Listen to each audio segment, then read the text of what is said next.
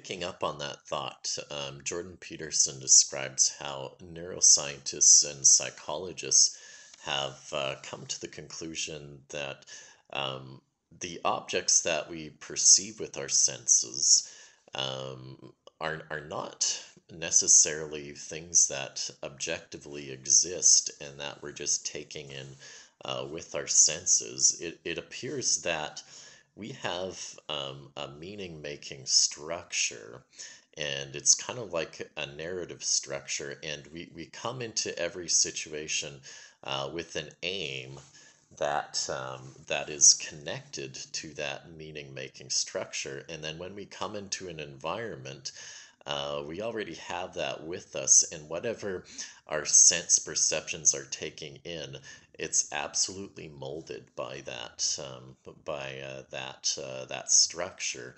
Um, and uh, he talked about the the particular um, difficulties that, uh, for example, artificial intelligence developers have in making general purpose robots because um, the general purpose robots is like what data what data do you take in? How do you interpret that data? Um, how do you make a context and connections between uh, the data that you're taking in? We're, we're doing that all the time, and that's why we perceive objects in the in our environment.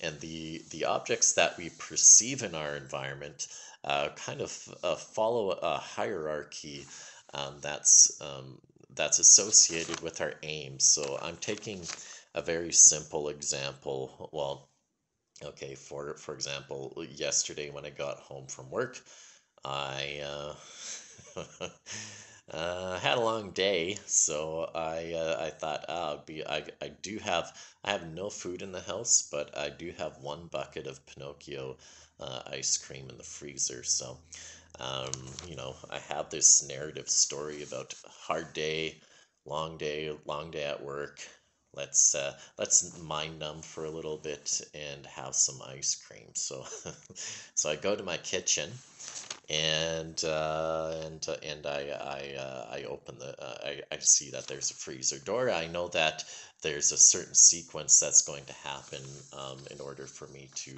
to reach my goal, which is getting the ice cream. I know there's going to be a door, so I perceive the door, and I know there's going to be some kind of a handle for me to, to manipulate that door to pull it open, and I see the handle there.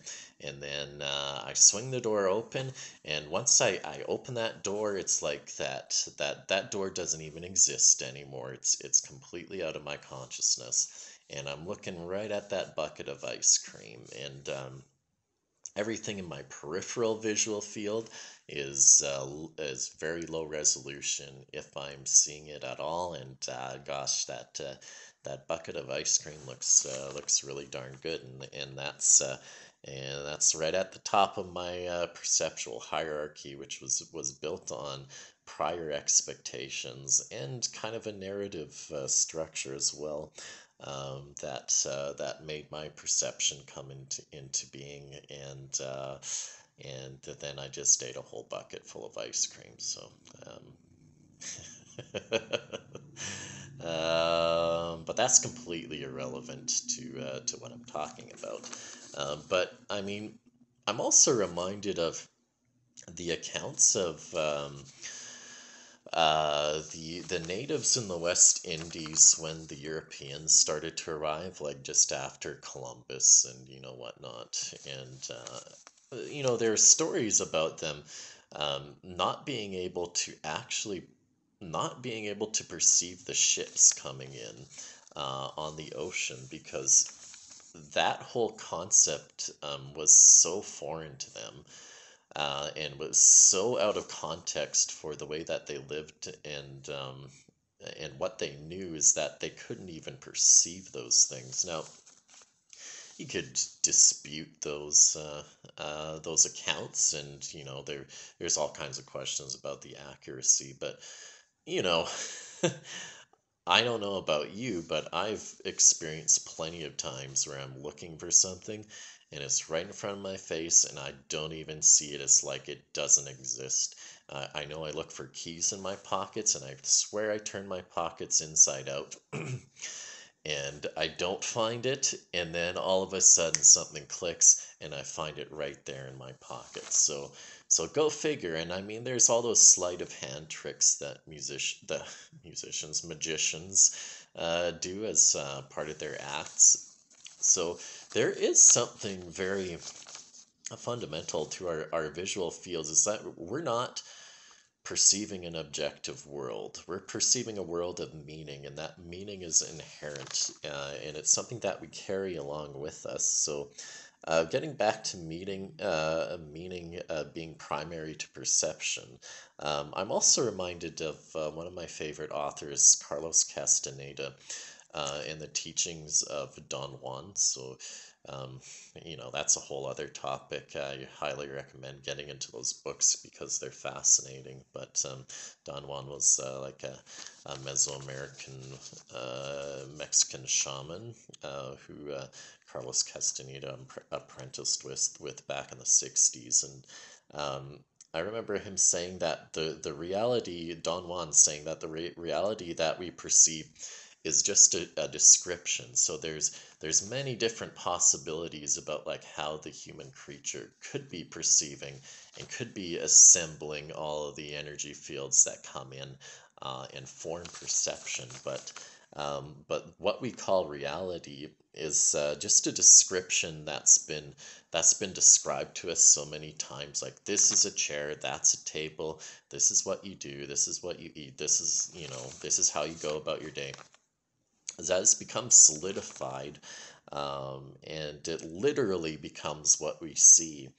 Um, so, so I thought that was interesting, and I do enjoy that there is that convergence uh, between um, two completely disparate uh, viewpoints coming to uh, the the same conclusion um, that I've uh, that I've encountered uh, along my my journey of knowledge, I suppose you would say. Uh, Carlos Castaneda and, and Jordan Peterson, I'm sure.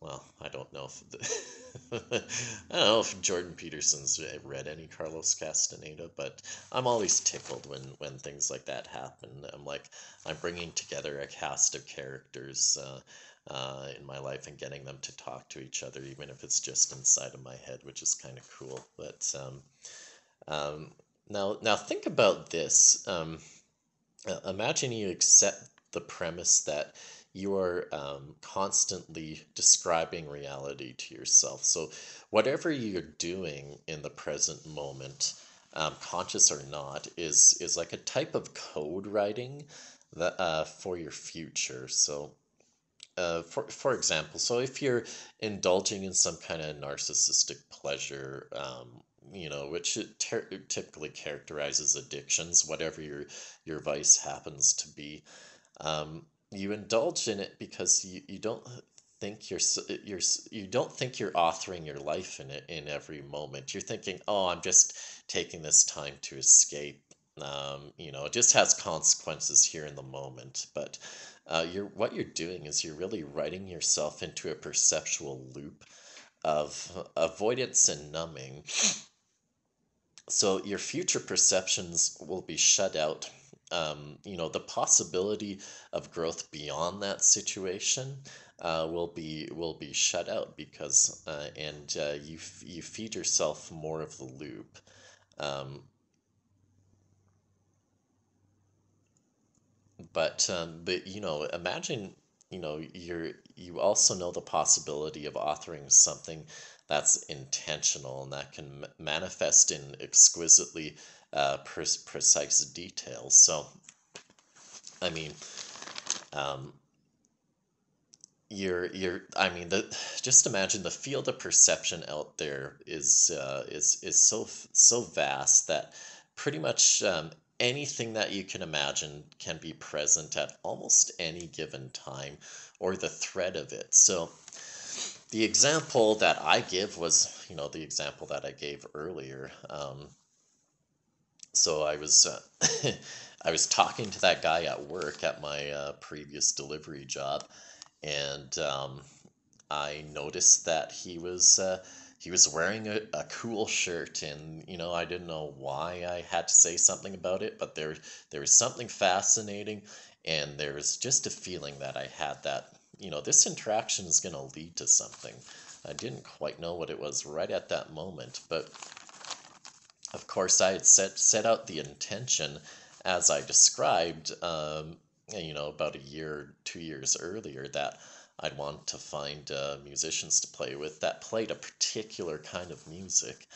And lo and behold, that was the guy that ended up, um, you know, fulfilling that uh, that perception and that wish for me. So so so it's like you, you can pull at these little threads and th- there are just infinite possibilities of of pulling at these uh, at these at these threads if you've um, you've set the conditions already for your your mind to perceive them when they're when they are when they are present